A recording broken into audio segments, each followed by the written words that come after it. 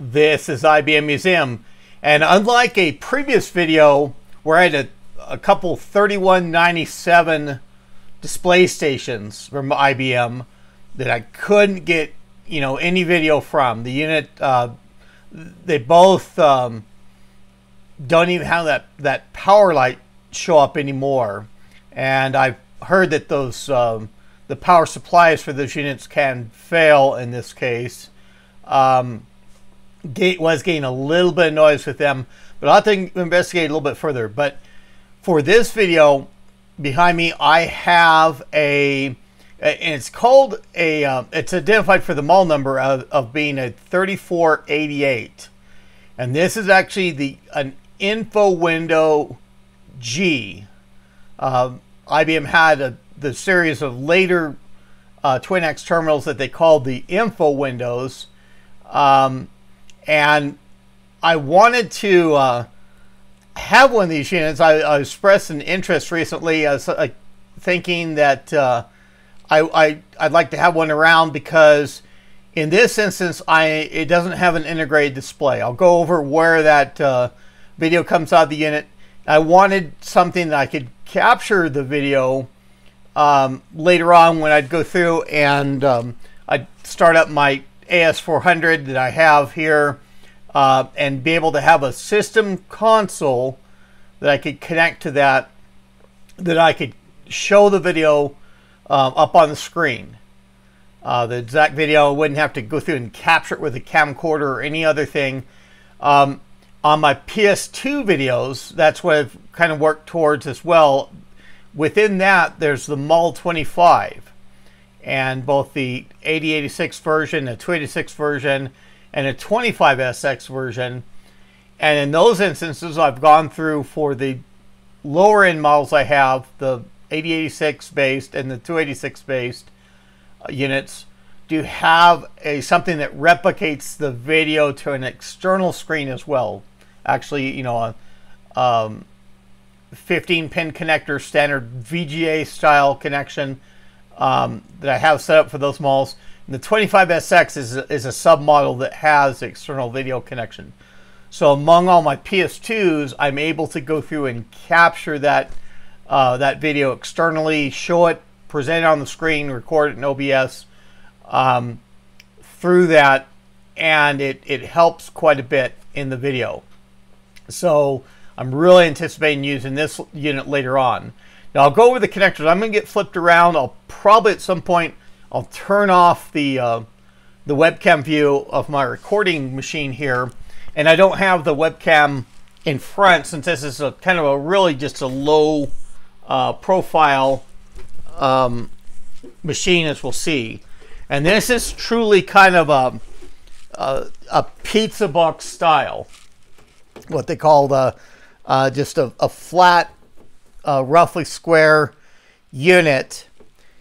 And going through, of course, there's a power switch on the front. I do have this connected to power and we will um, power it up in just a moment. I'll see what I can do to kind of spin it around with those connections. And it does have some sort of um, uh, a feature connector that may be even like a, uh, who knows, a light pen or something else that goes through and uh, adds to the capabilities of the unit. The um, 122 key keyboard in this instance is plugged in with that RJ45 um, sort of connection um, like the other info window models have. And next to it I at one point I thought, hey, that's kind of cool. Um, that has a, a, PS2 style plug. Um, I don't know if I want to. Yeah, let's see if we can work the camera to get zoomed in without having to uh, to move it around too much. But that is a PS2 connection. I thought, hey, that could be a kind of a duplicate for the um, for the uh, keyboard connection, you know, which is kind of cool. They had a, a PS2 um, a host connect keyboard that was 122 key key, and I just thought IBM was being kind of adaptable. But I got thinking in another way. I thought, gee, that's probably a pointing device connection, like a mouse. And that's even more cooler. And it does indeed work that way. I'm going to kind of try and show there's not anything on the other side of this, but I want to show underneath and kind of the back connections and get the get the cords out of the way. And this is indeed the the video out. Standard VGA style connection. Uh, power connection here. It does have a printer connection, a lot like the um, the 31 um, 97 had. And um, then it at the top of this, and I don't know if I lost a little bit of altitude with my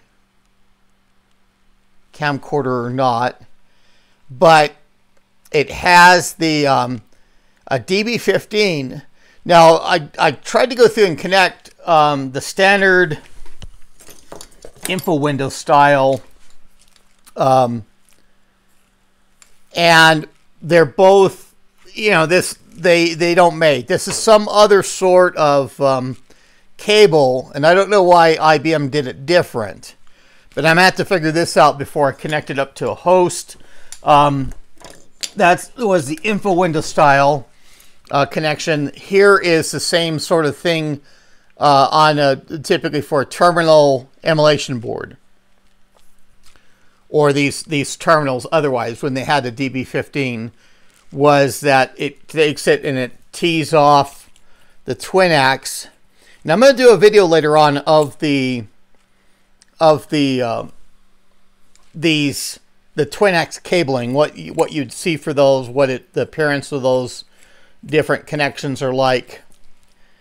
But um, you know, it's just something to figure out. Um, I'll have to go through and um, see if I can get a Twinax style um, connection that would that would uh, connect to that.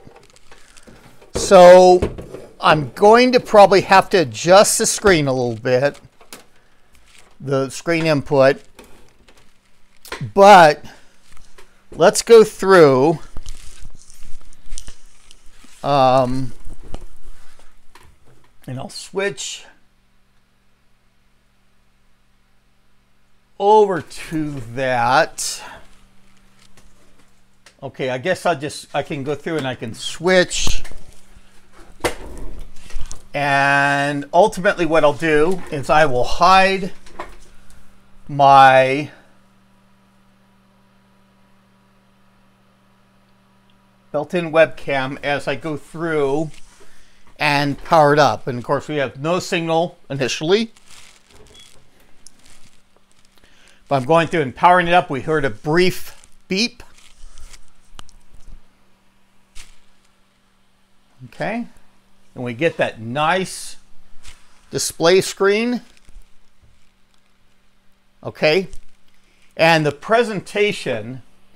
And this is, um, I'm not seeing where it's necessarily uh, stretched in this um, this app. I don't know if this is supposed to be like a 4 by 3 or a 16 by 9 ratio. And I have it, of course, set up as the um, the 16 by 9 right now. Let's see for 4 by 3. See what that does. Not really. And I just ultimately, I, I, uh, let's see if I can keep it as the as the 16 by 9. Um, and then the station address, what, what looks to be the station address, is in that lower right hand corner. And it looks to be like a 1 slash 8. But look at this. This is me moving that mouse. And nice little uh, red block uh, cursor. And it does say setup down here. I'm going to go through and click on that. And look at that beautiful configuration. Uh, move cursor to uh, selected desired selection and press enter. Um, and this is the so-called online setup. I mean, I always know it as the offline setup as effectively where the um, it's not uh, currently connected to any host because you're going through and you're setting uh, the addresses of, of the system too. Now for the first selection, we have lock sessions. And I suppose you could you could go through and you can press the cursor keys. You can navigate this by keyboard as well. But you go through and you can set a password for this unit.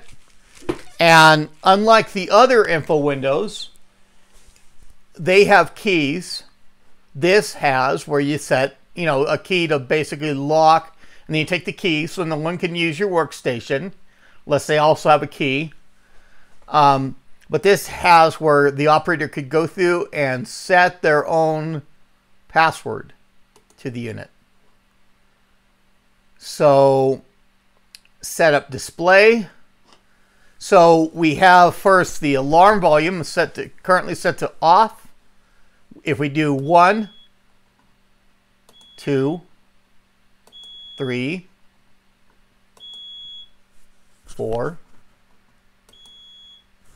and I don't know from your perspective on my microphone, you, it, it ramps up the volume. So in this unit, unlike the other um, on-screen setup terminals that I featured, this has more of a true volume indication.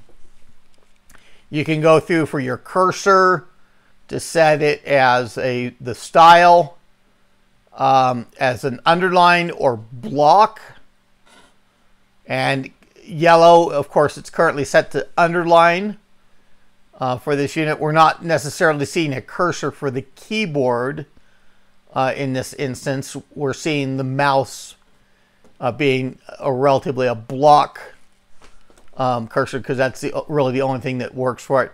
And then blink is yes, uh, curtain set to yes, and you can also turn that off. So if you, the thought is that uh, when this is an operation that that has that underline cursor that blinks to show you where you are. And then it has the row column indicator is on. You can turn that off. That is a um, uh, typically shown at the bottom of the screen to show you uh, ha rather handy to where your uh, selection, where your where which field that you're on right then. The rule line uh, style of horizontal or vertical or cross. Um, I'm not really certain on that one. Horizontal, I don't, I doubt if it would go through and change uh, the screen here, but um, just the, um, you can go through and have it as horizontal, vertical, or cross selections and follows cursor. So maybe someone that's a little bit more familiar with these terminals can specify um, what exactly that means prior to the operation of me getting it connected to a host. I would take it the horizontal is the default for that first selection. And this has an auto dim as some of the uh, later terminals do. They uh, the 3180, I think the 3196, 3197 they do they can be uh, set to auto dim um, and even the info windows as this one. And then you can set the delay 5 10 or 20 minutes. The yellow has it set at 10 currently probably the default mid-range. And the lock session is, is in other words if it dims the screen it goes through and sets that applied um, or that that password is in effect. So just like a lock screen on um, a Windows computer um, or Chrome OS or other operating systems where uh, to go through and get back in after that um, it does that process you have to go through and specify the password.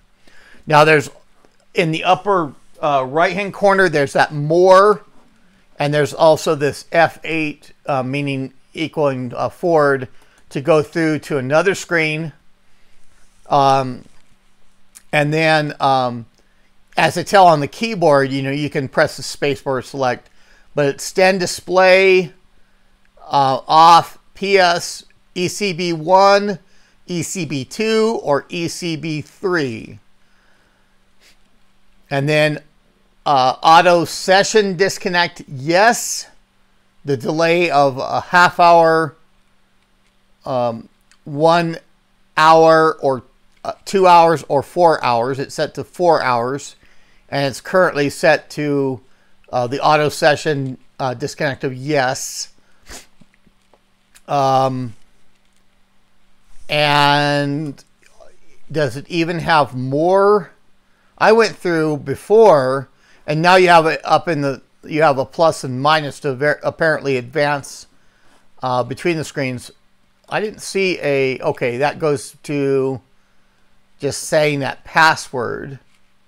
There's another place uh, for the display settings, and going through and you know as it says once you get through setting what you want uh, then you go through and uh, save and exit to get back to the menu where you have uh, the next item up is browse display information. The display sessions you can set as one two three four or none. And then, I mean, I'm assuming none is where you would go through and you'd have a, um, a it just as a printer session only, not necessarily a um, uh, anything on uh, display or ability to work with on the screen for the display sessions. You would just have it as a printer session, and you're able to go through and and set up a single printer session in this case and sessions, that just means uh, basically it acts like different terminals or different um, a, a, a, printer session as well. You have a effect to uh, control a printer from the device and you can go through and toggle through those display sessions just like they were separate terminals uh, typically through a, a, key sequence. So as an operator you could have even in this instance four um, separate terminal effects um, and even one printer session. I think you can go to four. Huh. Okay, it's just beeping at me when I try and go through and so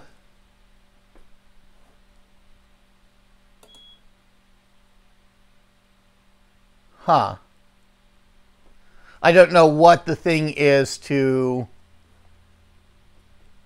um, going through. It's just beeping at me for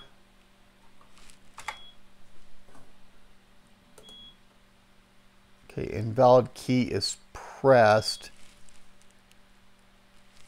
I don't want to necessarily do a reset or anything else like that shared addressing, and then the dis uh, display address one. Um, that's for that session, and and typically, if you're able to select more sessions, and maybe that takes that that um, that feature up that plugin on the side to be able to go through and set it any higher on those terminal modes. I maybe, I guess, I don't know. Um, and uh, they would be listed here. But you can set the station address. Huh. Let's look at that again.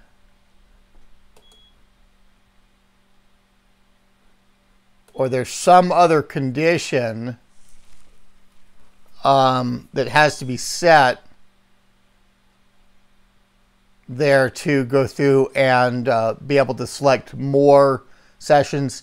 And this is apparently locked into um, uh, session zero, which should be the, in effect the um, the uh, control console or the system console if it were connected to the right port. Um, and that's what I'm wanting to use it for is to be able to have that um, initial terminal that goes through and displays the information when you're going through and um, IPLing the, the host, initial program load.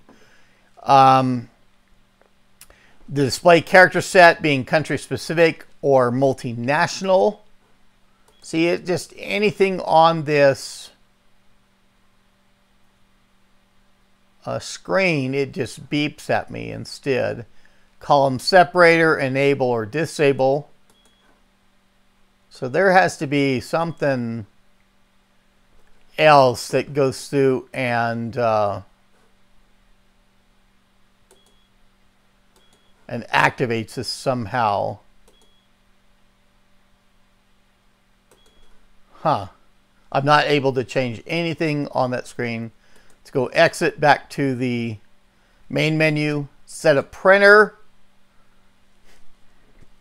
and you have the ability for setting up lines per inch, characters per inch, the print quality, depending probably upon the um, the um, connected printer.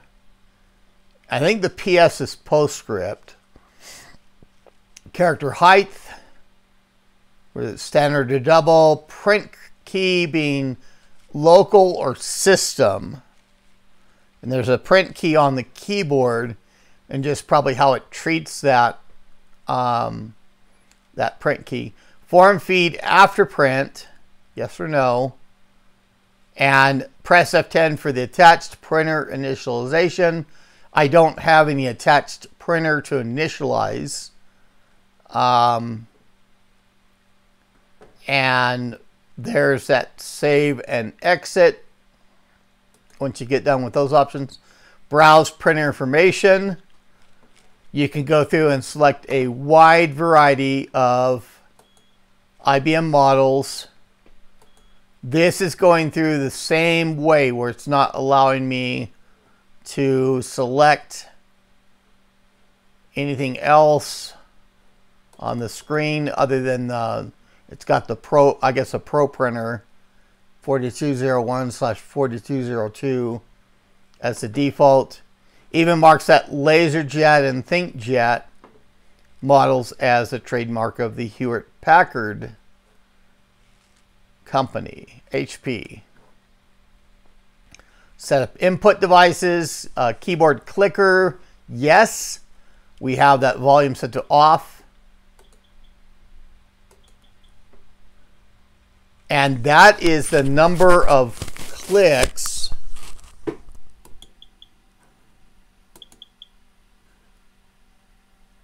I it still seems like it does four clicks when you have it set to high.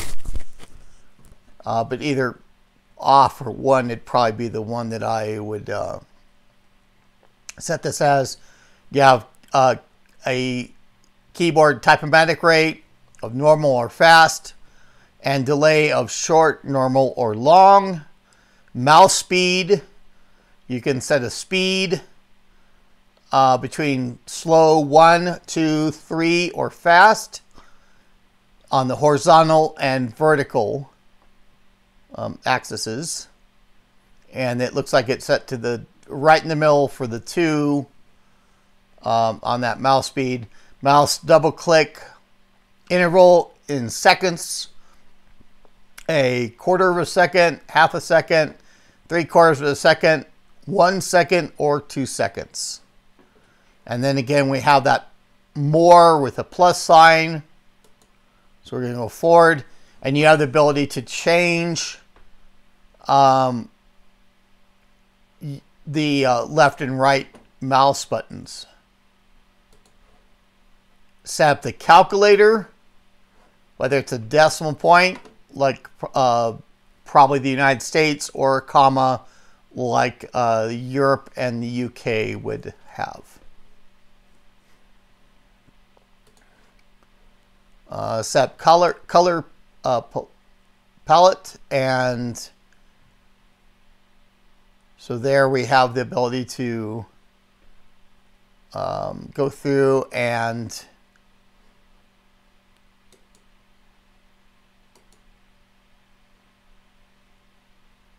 oh press F9 or F10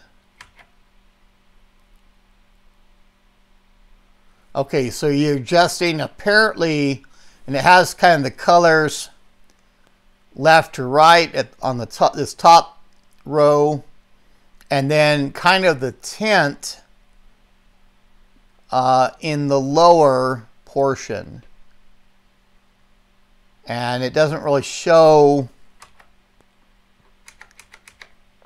what's the default. Probably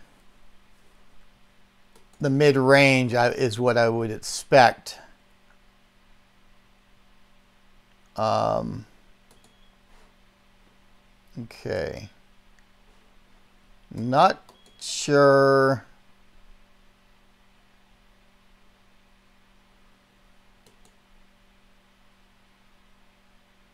Okay, and I'm not wanting to do that for my green.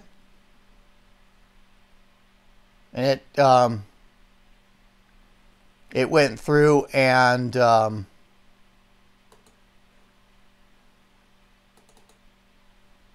changed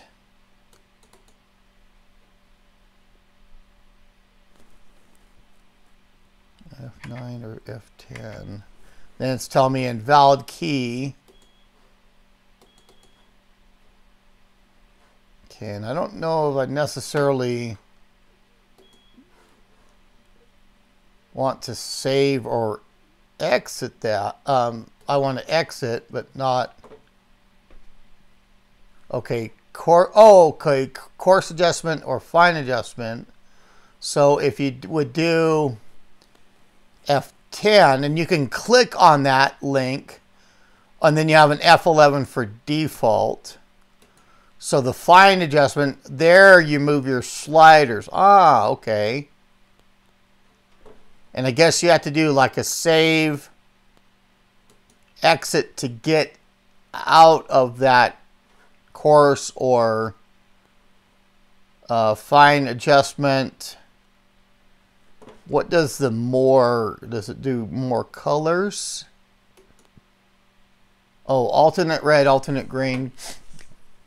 So some pretty elaborate uh, setup to this. And then you, there you have your, your background uh, background of your push button, ruler bar cursor. I guess you have a selection of your color, your trim border, window push button frame, and it it shows the settings, I don't know if it would go through and um, for this you could have different backgrounds on your to your different display stations too. Uh, so you could be able to tell the difference between the sessions. And assumably they would be listed here for that um, two, three, and four, I would think, and then you're not able to for that print um, that printer session. I don't know what it would come down to there. Mouse pointer, we could change the color of the apparently of the of the uh, mouse pointer to whether it's uh, red or green still say stayed red here.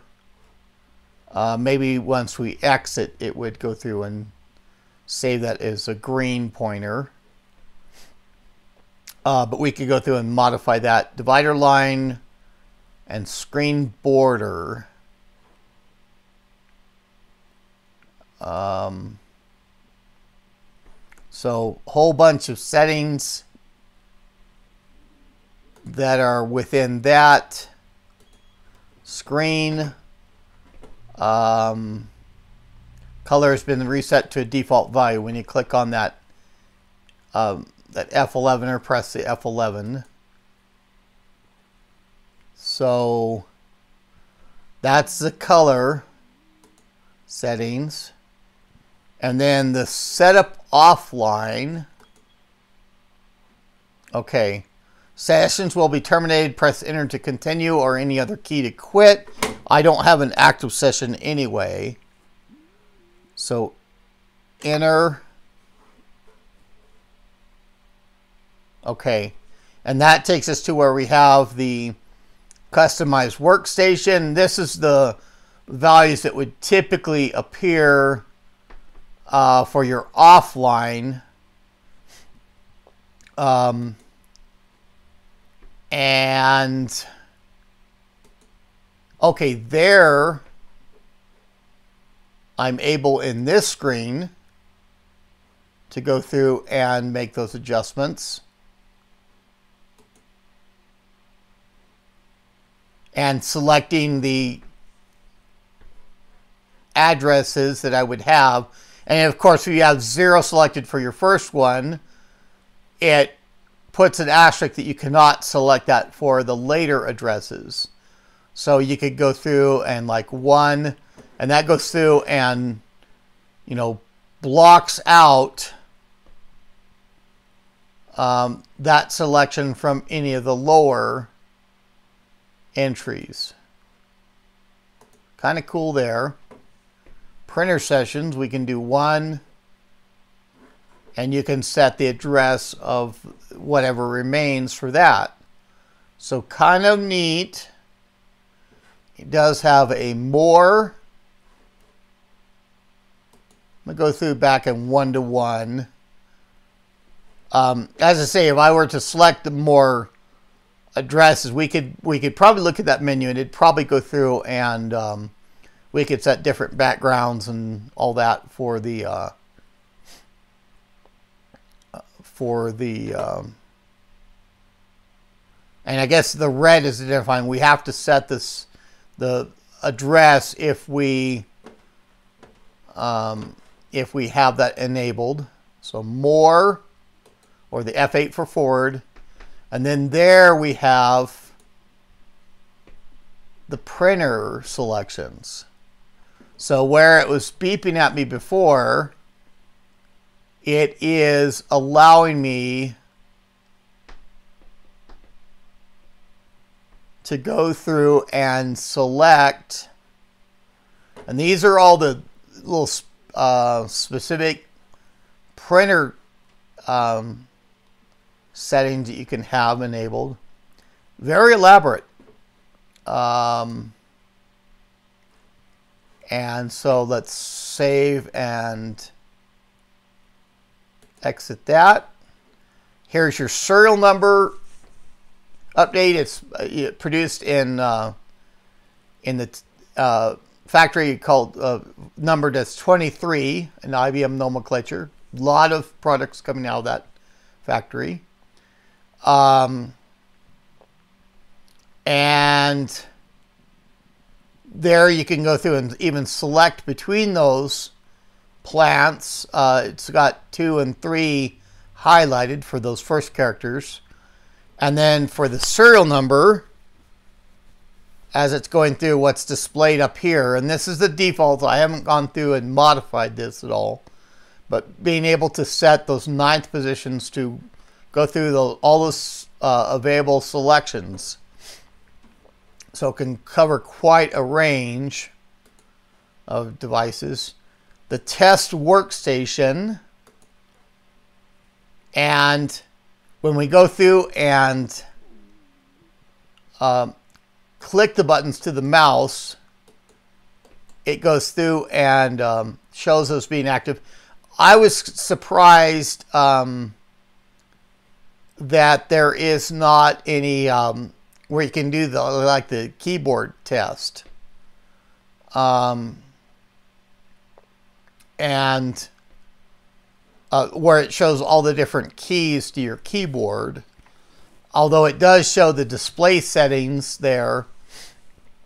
Um, and it's showing some FRUs for the um, for the devices there. Shows the serial number, shows the model number. Um, does it do?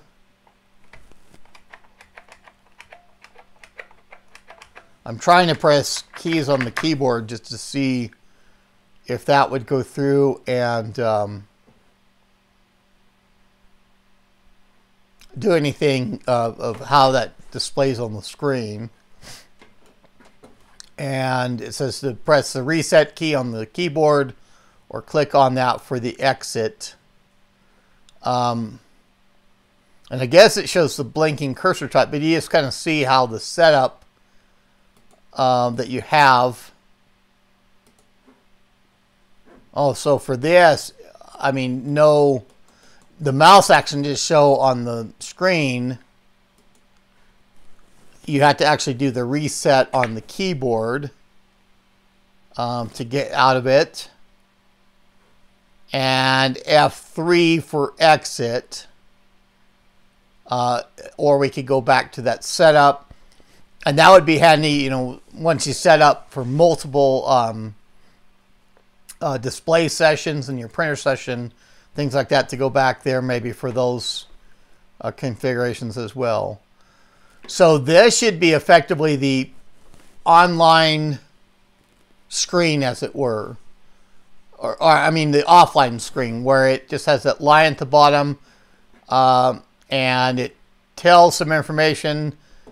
Um, I was thinking that one of eight was the the station address, but that I don't think is the case unless it's showing that. Um, I mean, we, we would have to look and even add multiple um, multiple sessions to kind of see if that would uh, react um, appropriately for, for, for that. So, but that's um, quite a bit of detail to these uh, to these uh, later um, terminals, these info windows, and I'll review the models that actually do the that have the built-in screens at some point here too. Um, but that is a, um, a, a, real good view overview of how the uh, customizable these things are. And I'm glad to have this unit because um, I'll go through and get it set up um, for that system console. And I could even go through and set um, other areas and toggle between those terminal, those display sessions um, to um, show what is on the system console and the, even in other um, in other display sessions. It would be kind of neat. Uh, I do have printers around that could maybe find a model of uh, that could be close or emulate those models. Even set up a printer and things like that um, for my AS400. Um, but really kind of cool little terminal that um, I just thought I I I found um, one that I had stashed away, and I'll have to figure out that um, that connection um, on there uh, for connecting into a host. I mean, this is clearly designed um, to work with a so-called twin Twinax or AS400 um, system. I just have to figure out why that DB15 is inverted from what I normally expect.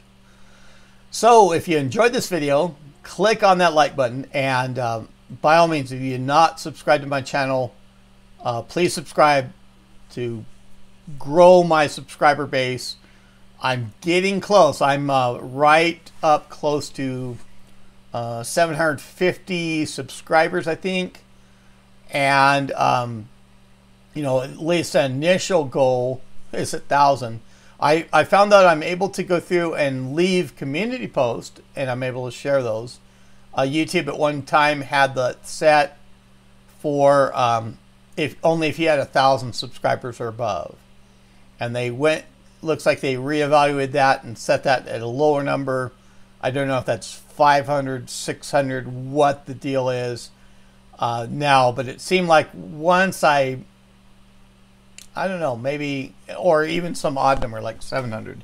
I just know it appeared for me and I'm starting to use that. So I'm able to make those announcements finally, but I still want to grow up the my subscriber base as well. So, but that's all I have for now. This is IBM Museum. Thank you.